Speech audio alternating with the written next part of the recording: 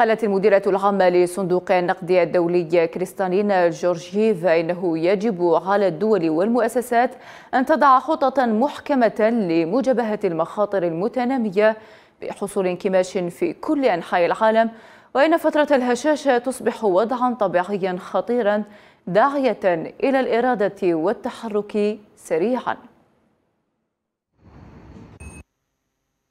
هناك حاجة ملحة لتحقيق الاستقرار في الاقتصاد. في صندوق النقد الدولي ندعو إلى عمل مشترك بين الدول بهدف استباق الأزمات المستقبلية. ستنشر المؤسسة الأسبوع القادم توقعاتها للنمو للسنة المقبلة وستتم مراجعتها لخفضها.